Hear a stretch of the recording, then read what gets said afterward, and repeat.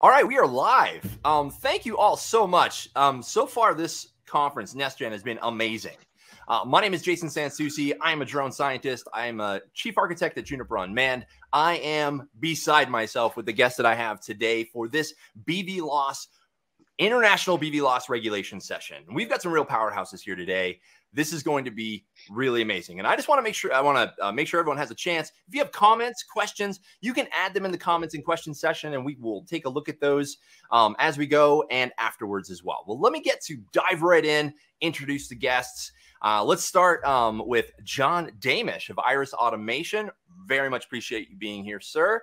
We also have uh, Pedram Nowrouzi, CTO of Volatus Aerospace. And then last, but certainly not least, we have, and actually we have one more as well, so I'll introduce her as well. We have Karin Hollerbach of Aerodyne uh, GmbH. And last but not least, we also have Dawn Zoldi, CEO of P3 Tech Consulting, and she will be joining us uh, remotely, remotely. You'll understand in a minute. Well, let's just dive right in because I think this is a really, these are some fantastic questions. I really enjoyed our, our prep session. And I think if we go anything like that, this is going to be amazingly successful for everyone here. So let's start with the very first question. And we're just going to do this conversational style, right? There's no, no pre-scripted. We're just do this conversational. I think that's the best way to go. So let's, question number one. What are the key similarities and differences between the regulatory frameworks for BVLOS operations in the US, Canada, and Europe. Whoever wants to chime in first. Let's go with John. All right. Thanks very much, Jason. And hello, everyone. Thanks for joining. Um, yeah, I, you know, answer my view of that question is um, there's a lot more similarities than there are differences. Uh, when you look at the the use cases and the operational uh, or concepts of operation across the world, you know, flying is flying. You're either going to transport good transport goods or people from point A to point B. You're going to observe something from an elevated location. You're going to distribute something like a spray or a fire retardant. But fundamentally, you know, you're taking off, you're flying some mission, and you're going to land. So, so the regulatory environment that surrounds the safety of those operations is going to be quite similar. I think when we look at the integration of uncrewed aerial systems into various national airspaces, the differences really start to pop out in terms of the the types of traffic and the traffic density. And and that's the that's the stark difference at least you know my expertise is primarily here in the us working with the faa and, and flying and navigating our national airspace. Um, but when you look at the distribution of low altitude traffic you know the us has more than 50% of the world's general aviation aircraft traffic. And you know 50% of that traffic is not equipped with adsb and frankly spends most of their time flying outside of controlled airspace. So when you look at that as a as a threat vector to low altitude uncrewed aerial operations, you can see why the FAA is going to be the more conservative of the bunch when you look globally around different regulators and what they're trying to do with integrate UAS and the NAS. So I think the differences really lie in the geography and the traffic density. Um, and by that, you know, by that force, you're you're going to see a different level of conservatism um, across the global regulators. I personally have some experience working with CASA in Australia. Uh, I used to be with a Boeing subsidiary called Insitu, and and we were flying ScanEagles beyond visual line of sight in 2016. Um, now, granted, we were flying over Western Queensland, uh, which, if anybody knows Western Queensland and Australia, there's not a lot of general aviation traffic out there. So your risk environment is much lower, which means the regulator can be a little bit more forward leaning, take a few more risks, and enable different operations to learn in a different way than, than we really can here uh, in most parts of the states. John, thank you so much. Let's let's, let's switch things up a little bit. Uh, Karin, I would love to get your thoughts on this question. Yeah, I'd be happy to. I basically agree with what John is saying. I do see a lot of similarities. At the end of the day, the the regulatory agencies their their job is to keep us all safe, and not only those of us who are who are engaged in these operations, but particularly also those of us who are not engaged in these operations. So that you know the overall objective is to to keep crewed aircraft safe, anyone who is flying around in the skies, and also keep everyone who may be uninvolved in the operations that we're engaged in on the ground, keep people and property safe. So it's not surprising that there are a lot of similarities when the goals are really the same. And, and as John pointed out, flying is flying. So the the risk mitigation strategies will be will be fairly different. And certainly as a as an also crewed aircraft pilot, I can I can appreciate those those um, the attention to that to that level of safety.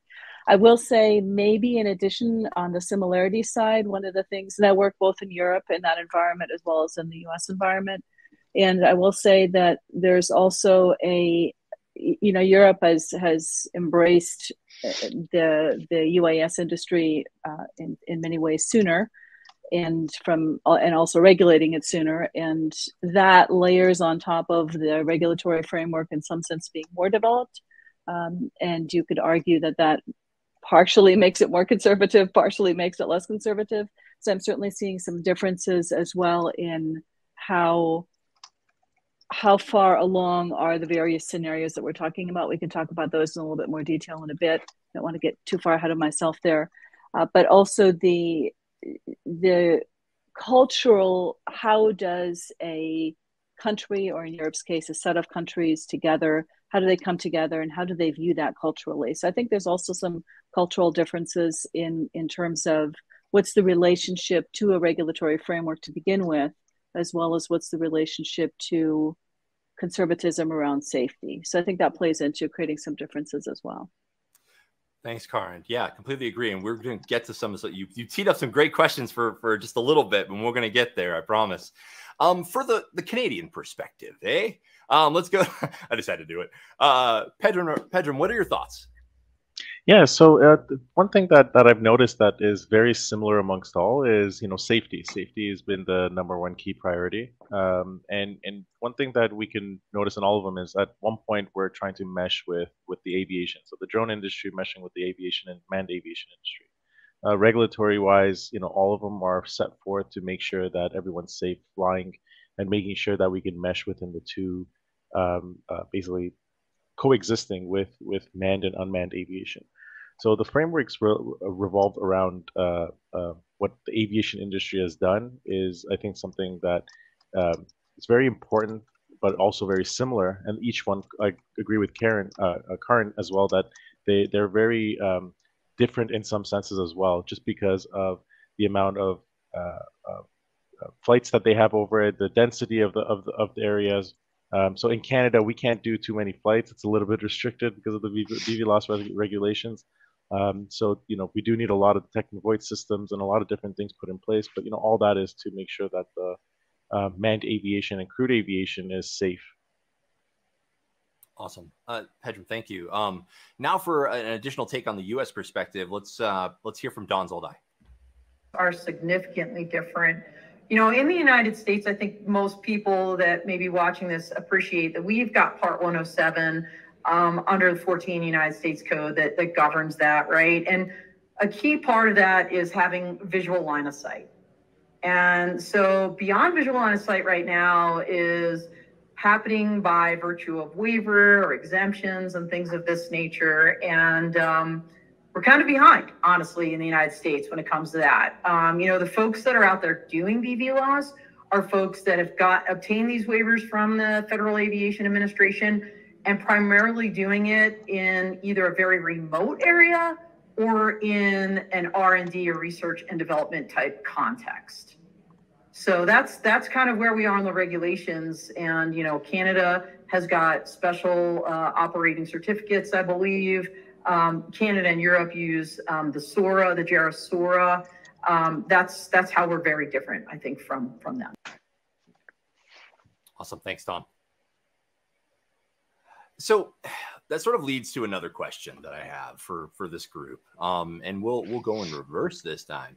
Um, how do these regulatory agencies in the different areas that are responsible for BVLOS operations, how do they balance the need for innovation and growth in the drone industry that we're talking about here at NestGen with safety and security right? How do we do that? So let, let's let's actually start with dawn. I'd like to hear what she had to say about this. You know it's it's a tough balancing act uh, that the faa has to do. And you know it's it's an unenviable task because you know, everybody wants to move really fast and of course they're moving very slow right they always talk about this crawl, walk, run approach. Um, you know, because when it comes to safety in the national airspace, and by the way, U.S. national airspace is, is probably the safest uh, airspace in the world. Um, you know, they don't want to risk that. And so what you see is a very deliberate approach. You know, what we had was uh, an aviation rulemaking committee that they formed up like two years ago uh, for beyond visual line of sight. They called the BVLOS ARC. Uh, about March of last year, 2022, uh, that group went out and, and produced a 400 plus page report of recommendations, uh, not all of which were unanimous, by the way, some of which were very controversial, like right of way rules. We should modify those to give drones or UAS the right of way uh, in certain circumstances.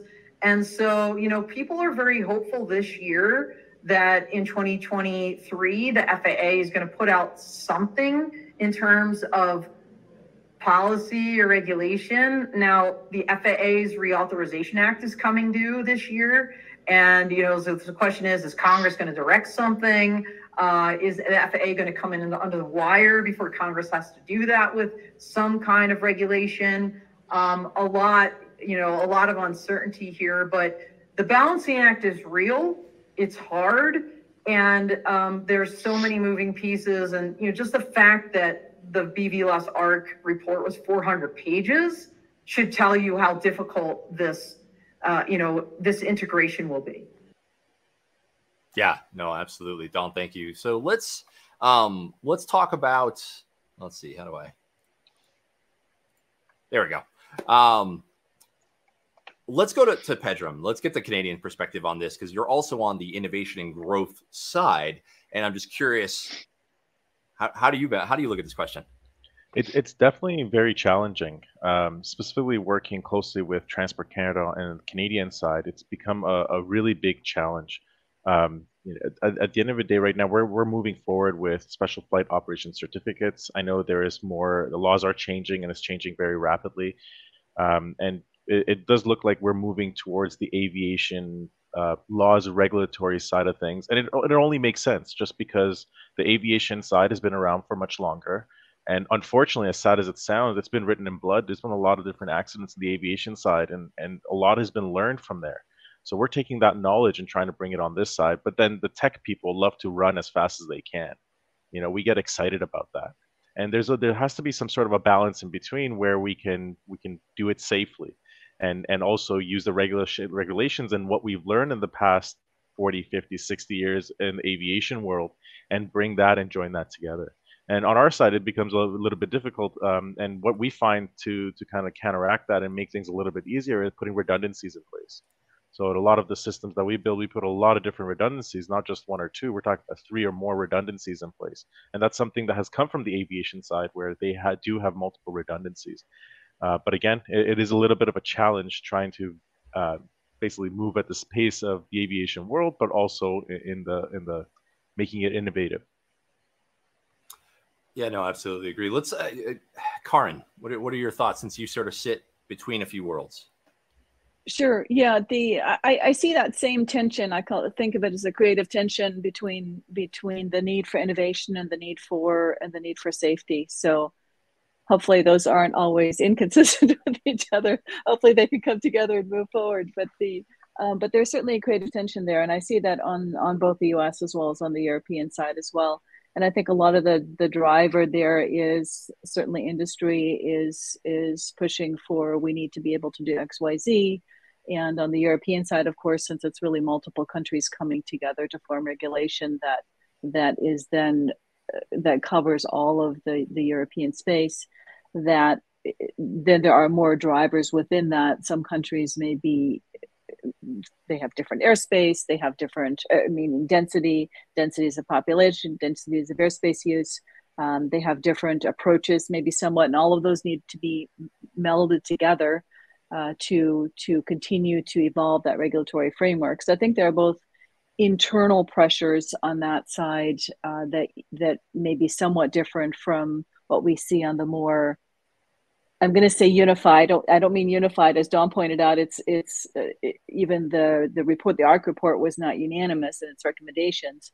um, but I'll say unified from the point of view of there's there's one country there, one um, one umbrella under which it falls. And so I think that is a little bit more challenging to create that single umbrella on the European side. Um, and yet the same basic trends, the same basic dynamics, the push pull of of how do we innovate is is really driven by the need is there. We see the need. The need is growing. The technology to support that need is growing, and then the regulation needs to needs to evolve along with that to enable more and more even as as things remain safe. Before i before i stop or i'll stop there but uh, before we move on maybe to john i'd like to add one other quick thought not to derail us. Uh, if anyone caught my i wasn't waving to the crowd earlier. I was i was uh, sort of raising one one additional point on the on the similarities and differences. And that is i know we're talking here about the regulatory frameworks that are driven by so in the in the in the US the FAA so specifically the aviation regulatory frameworks. I would say one thing that also adds one level of difference in, in Europe is the GDPR regulations. So as Dawn, as John pointed out earlier a lot of missions or, or one set of missions is information gathering missions. And so one of the things that I see play into our ConOps development, our considerations of what do we do, how do we handle these operations around the missions, uh, when, particularly when they involve sensor-based missions and they involve data gathering. Um, I see that many more of the partners and customers that we interact with, um, they immediately also, their minds go to what are you going to do with the data? So GDPR regulations to handle data privacy and protection. So I just I don't want to go too far in that direction since again the regulatory discussion here is around the aviation regulatory piece. But i just want to raise that as one point that i see also as being somewhat of a difference between the european environment and the us environment. And i'm not entirely sure about the canadian environment in that regard. I just want to throw that out there as a as a um, food for thought with regard to differences and similarities Oh, absolutely, Karin. And that was definitely part of this question. Like the, it was not just safety, but also security. Data security is a big piece of that. Cybersecurity is a big piece of that. We, we heard that in the keynote. That's that is a big piece. So yeah, no, I'm glad you brought that up. Um, so sort of with the final thought on this question, John. Yeah, that, thanks, Karin. I think uh, I'm going to say something at the end of my bit here that ties directly into what you just said, and I think you know the audience needs to understand um, what is an aviation regulator's job their their remit is is really threefold. Um, they have to mitigate air risk and make you know flying in the air as safe as possible for other people in the air. Um, they have to mitigate ground risk, basically make it safe for the people that are on the ground, not related to the flight operation, but is happening over their heads. And then they have to provide equitable access to airspace. I mean, that you know, federal tax dollars pay for our FAA and our airports and our airspace management ATC. So equitable access is important. Um, nowhere in there is there an innovation remit. Uh, and in fact, you know, the agency itself doesn't have resources to go innovate and try things. They look to other uh, organizations like NASA, as an example, to, to do some of the innovation and, and kind of that pioneering work to inform future regulations. So things like the BVLOS ARC, that is the agency reaching out to industry and saying, hey, you guys are the innovators you know what you want to do you know what you need to do for your businesses and whatever your use cases are. So you know tell us what you need. Um, by no means are we going to get everything we asked for in the report right? Like it's a wish list let's be very clear right? Um, and there's no way the regulator could provide all of those things. But what it does give the regulator is a pointer right? Saying okay they really care about this. So we don't really have to spend a lot of time over here. Let's really hone our efforts here, iterate on that. I believe what we'll see come out is a series of uh, NPRMs, notice of public rulemakings, that chunk up those recommendations that were in the report and bring things into rule a little bit at a time, because that's a much easier lift than trying to bring like oh my god all of those recommendations into all of the parts of the regs that you'd have to edit and change that is a dog's dinner to use a very british cliche um, so that's that's kind of point one for me um, point two is you also have to look at the culture of the organizations that are involved in this in this you know environment that we find ourselves in you know the regulators of bureaucracy um, there is no reward for taking risk in a bureaucracy. A bureaucracy exists explicitly to minimize and mitigate risk. Whereas us in the startup community and innovators that are bringing new capabilities to market, we race at it, right? Like we don't waste time trying to figure it out and put it on paper. We go build it and see if it works. So, you know, that's a you know, an inherent clash of cultures, but it's not a bad thing. And I think um, I think Pedram, you know, called it out right that a focus on safety is the key to progressing innovation in these markets. If we can bring the power of industry and innovation to the safety environment, well, now we've got a common language with the regulator. Now our goals are aligned, and we can actually start to do things that get these technologies into the forefront. You know, Dawn mentioned, um, you know, airspace awareness and traffic detection and detect and avoid. That happens to be what we do. But if you can do that and you can enable a use case that actually removes risk from a human operation today, that's a good thing. Now you've aligned with the FAA's remit, you've aligned with industry's remit, you're making the end user happy because now they have a much more economically viable means to accomplish some task. So, you know, our view is that if you focus on safety, speak the language of the regulator, help them get, you know, what they've been tasked with done, we're in a good place. And then the last thing that I'll say, uh, and this goes back to Karin's comment, FAA stands for Federal Aviation Administration. Um, when I first got my student pilot's license, on the back of it was a radio telephone operator's permit. I had to be certified to use the radio. Guess who certifies that? The Federal Communications Commission right? So when you, know, you think about GDPR, you think about FCC, you think about the Environmental Protection Agency. Holy cow! Right? We are flying in the airspace. We are not talking about one regulator. We are talking about multiple. So you know the regulatory side of things in a large uh, bureaucracy is a very complicated thing. But if we can find the use cases that really provide significant public benefit, then I think that's our entry into service. Like we can now get the public behind this. If you get the public behind this, then you have the political alignment that you need to get the agencies to work together to get to yes. So um, it's it's a hard world, you know, it's a challenging space. But if anybody's been like, God, why don't they just move faster? This is hard. Um, it it definitely takes time, but the public has to get on board. And if the public gets on board, I think we have shown that guess what, we can do things pretty quickly. So uh, over to you. Yeah, no, John, awesome. Um, and you literally teed up the next question because it was your question during our conversation. We're like, yes, I want everyone's thought on this. So you mentioned that clash of cultures. You've already answered this, so we're going to go to the other other panelists. So there's a clash between the agile technology companies and the comparatively slow bureaucracies um, that are involved here. It's a prevalent issue. How do we bridge that gap? So let's go to um, Karin, let's go to Karin. I'm curious what your thoughts are on here. Sure. I very much experienced that gap, and I actually see it as not just a technology regulatory. I I really see it split into three, and that is on the regulatory side, the technology side, and uh, what I'll call the the aviation operation side, right? So we have, as we are developing our ConOps and making them a reality, that more and more is technology reliant and the technology players themselves may or may not also be the the operators of this technology. They may or may not be actually flying and implementing those missions. They may also be uh, bringing together multiple pieces of technology to make those to make those use cases work.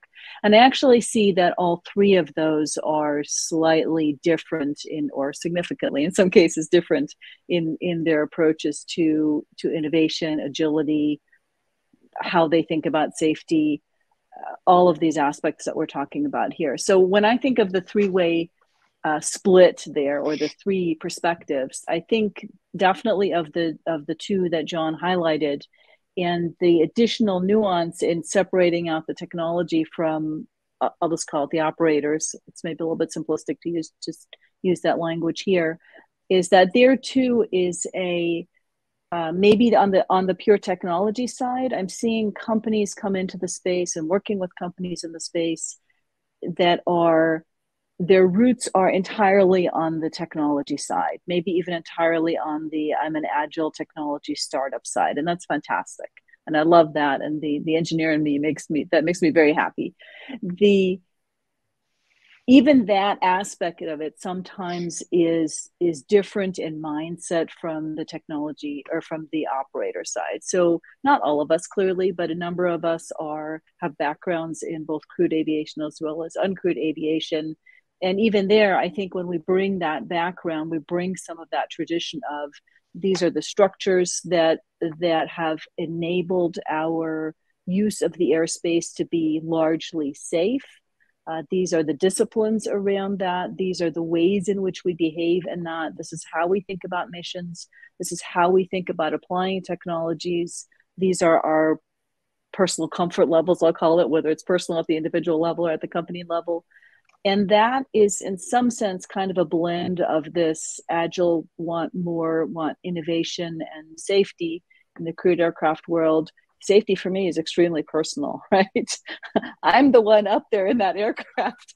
I want to make sure that i make it back home alive as long in addition to all my passengers in addition to everyone else around me that it really becomes extremely safe extremely personal very quickly.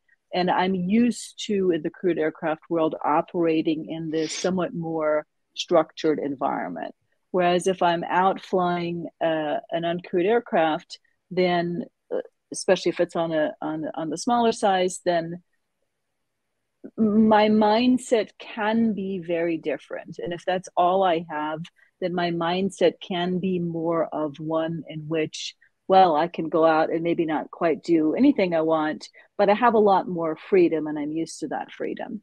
And so when when we bring in the agile technology startup kind of a mindset of go go go go go, constant changing, constant um, innovation, constant um, constant freedom to create something, then that also is a little bit different from the operator mindset of uh, well where's the structure to make this all happen? So i see it as a little bit more of a of a triangulated creative tension in, in making that happen I like that. No, that totally makes sense. Adding the operations portion of that is is a big deal. Even if we're talking about drone in a box technology, there's still the operations aspect as we develop these ConOps. So that's a, a great observation. Um, it's definitely a triangle.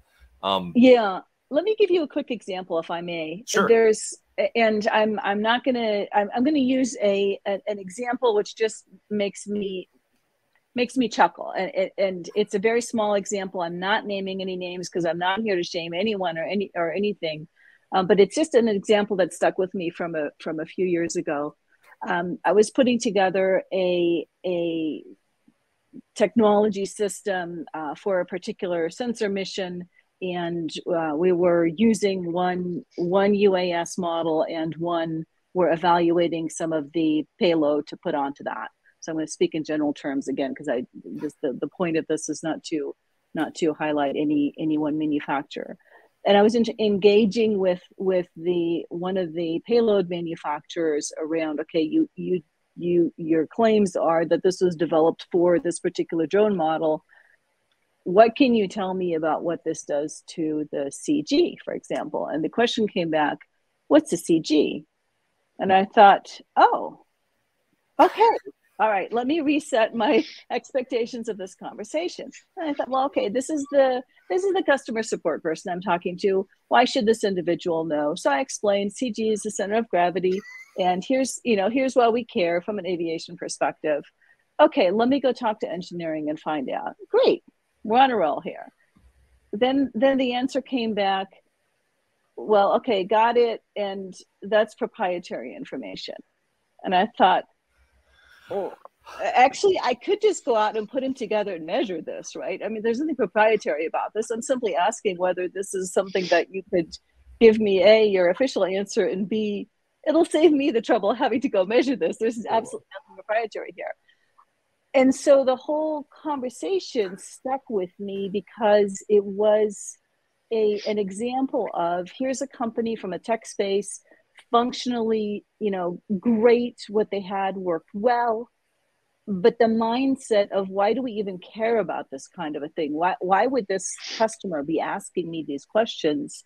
There was a significant gap there, right? It, it was purely a mindset of we have we have a product that we put out on the market as soon as we decided that it worked, with without an understanding of what's the environment in which this this product has to operate, and yes that was that's one anecdote but it kind of stuck with me because in some sense i see that repeated in different forms. Um, and i think this is part of the gap of, of how do we innovate and and how do we make that fit within this safety oriented regulated regulated environment? So back over to you jason. I'm i'm glad you i'm glad you brought that up. So so pedram let's get your fi- let's get your thoughts on this. You know with or without any culture gap shaming? Yeah Yeah, so you know, it's it's really tough. Um, I, I feel like the, the the people who sit closer to both sides, which would be the operator and the regulator, would really be the manufacturer that sits in the center. Um, they that's, that's my point of view is that we are the closest. We have to abide by the regulation, but we also have to create a system, an environment uh, that would work for the operator as well and that becomes really really difficult. You have to think about multiple different things think about the the operators aspect the operation aspect the usability the user friendliness and, and then think about the other side the safety aspect of it from the regulatory side which is redundancies making sure everything is safe you know operating in a safe uh, flight envelope and, and, and operating the entire system in a safe way. So as a manufacturer, we can put a lot of things in place to help that and aid that, both aid the the regulatory side and to make them happy, but also on the operation side. So it makes it really important. I find it really important as an organization to be very versatile and have talent in your team that know both and can both chime in. Um, something that we've done with with one of our technologies is that we we work really close with Transport Canada, but at the same time we have a regulatory guy in house. I'm not the master with regulatory. I'm I'm a I'm a technology geek let's call that so at the end of the day for me it's i want to rush to the fastest technology but then i have someone in the organization that says hey hold your horses that's not going to work let's think about the safety aspect of it, regulatory aspect of it, and then we have the operation team that come in put some forces on me on the other end saying, hey, can it work in extreme conditions? Can it work in this kind of environment that people are going to be using that technology for? So I feel like as a manufacturer, we have the responsibility to sit in the middle and, and listen to both sides and implement both of them to make sure that the system is safe from the regulatory side, but at the same time, from operational side, it makes sense as well. Absolutely, and um, just to so wrap up this question because we have only have one more. I'm a little sad. We're almost done. Um, let's hear let's hear from Dawn, and this is actually Dawn's question four. You know, Jason, my my thought here is that the technology companies that are partnering up with aviation that they're doing so with eyes wide open. In other words, they're going into this appreciating that there is a safety culture here, that this will be a crawl, walk, run approach. Uh, you know, that maybe at least in the US, we're in kind of in that crawl to walk stage. Um, you know, they need to be in it for the long haul. And so my assumption is a lot of these folks already know that. Um, you know, now what we're seeing are really rich partnerships though, right? Because you know, I, th- I think even on the on the hardware side and the drone side, people are realizing, you know, we're all better together, and you cannot do this alone. And so I think as trends go, we're seeing those gaps being bridged and partnerships really coming to fruition, especially over the past year. Um, you know, and I think we're going to keep seeing more and more of that. But the reality is, the regulatory side of this is going to remain slow.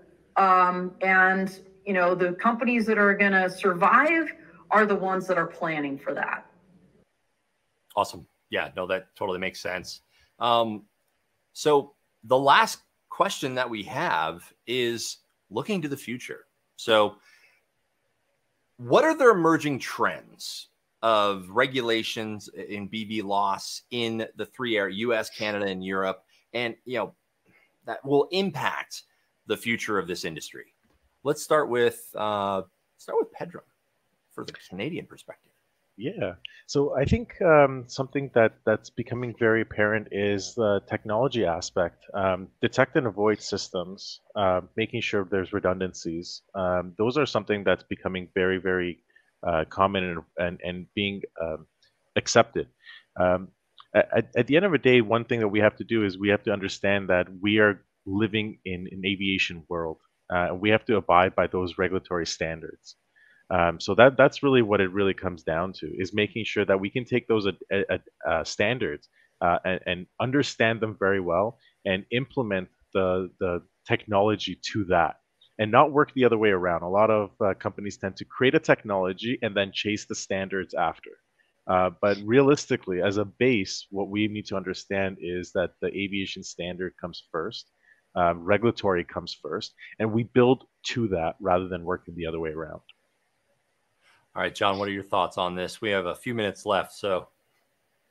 Yeah, I mean, in terms of uh, future trends, I think we're going to see an increasing amount of BVLOS approvals that that largely track to um, some of the key ARC recommendations. I mean, we're already seeing approvals granted with the concept of shielding. Um, and for those of you that haven't heard that, it's basically the uh, the assumption that says, okay, well, if I'm underneath the top of a radio tower with my drone and I'm within X amount of feet of that tower, there probably shouldn't be a crewed aircraft there because they're going to crash into the tower.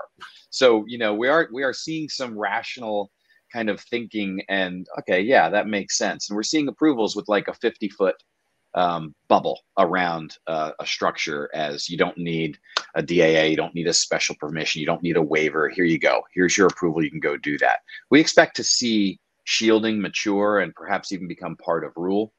Um, I think, you know, Karen put it very well. Uh, we can't forget about the operator and the operations.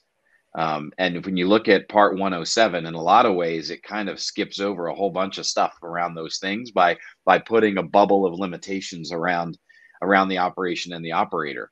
Um, I don't think we're going to see many gross changes to part 107. I think we will see a new part of the regs that talks about operating rules in the US for beyond visual line of sight. But I think that is going to point to other existing parts of the regs because guess what? You know, we've been around 100 years. We've been flying a lot. Like we know a lot. The regs that are there are there for a reason and, and pedram put it well. Unfortunately a lot of them have been written in blood. So they're not wrong. And and they they do apply to a lot of aspects of this uncrewed world. It's just they need to be tweaked a little bit right? So uh, i think the future of the regulatory environment is going to look more like that than some giant sweeping change that all of a sudden makes all the BVLOS stuff happen. Um, it's not. You you know it's going to be it's going to be bite-sized pieces for specific use cases. And i'll tie it back to my earlier question where there's a significant public benefit or economic benefit right? Like those are the ones that are going to be said okay first and under very controlled circumstances to ensure we're not eroding safety of the NAS. All right Karin 60 seconds. Awesome. First, thing I'm going to say very briefly on the previous question, loved Dawn's emphasis on partnering and partnerships and how this is becoming more i'll say it's even part of the trend this is becoming more and more something where multiple parties multiple organizations come together to produce something. So loved absolutely love that comment from Dawn the only other thing that i would add briefly to what pedram and john said totally agree on those on those comments regarding technology and maybe even build from a european perspective on john's comments around uh, one of the things i'm already seeing is that there are predefined scenarios predefined things uh, where as long as you are within the confines of this type of an operation, it makes it substantially easier for you to get the the approvals that you may be that you may be looking for. So I'll just leave it at that. But I definitely see that as a as a trend happening in Europe right now. But we and we have one more person to hear from. Let's let's hear from from Dawn on this last question. Folks like the Choctaw Nation of Oklahoma, you know what the great stuff they're doing out in North Dakota, you know, Avantis and NUAIR, and the list goes on and on, right? So that's going to keep happening. Um, I think we're going to see a lot more, you know, kind of ship to shore, maybe, you know, middle mile deliveries happening beyond visual line of sight in the energy sector. Um, I think we're going to see some larger vehicles getting approvals. I also think we're going to see, of course, public safety, that tactical BVLOS approval they got under Part 91. Um, we're going to see a lot more of that happening. Hopefully, drones first responder really blossoming this year. And then, of course, drone delivery. Um, you know, is that going to be beyond visual on sight? I don't think so. I, that's not been a trend, and I don't think it's going to happen. I think what you're going to see with the smaller drones is going to be more so, uh, you know, long line linear inspections in more remote places. Um, so I, I think those have been the trends. I think those trends are going to continue. And until the regulatory front changes, um, you know, that's what we're going to see, at least here in the US. Yeah, no, absolutely. And and we're actually at the end, man. This has been chock full of all types of information. I apologize, we went right to the end. But thank you to all of the panelists very, very much. And thank you to the title sponsor, DJI Enterprise, and platinum sponsor, Volatus Aerospace, for allowing us to be here today. Uh, thank you all so much. And we'll see you in the next panel.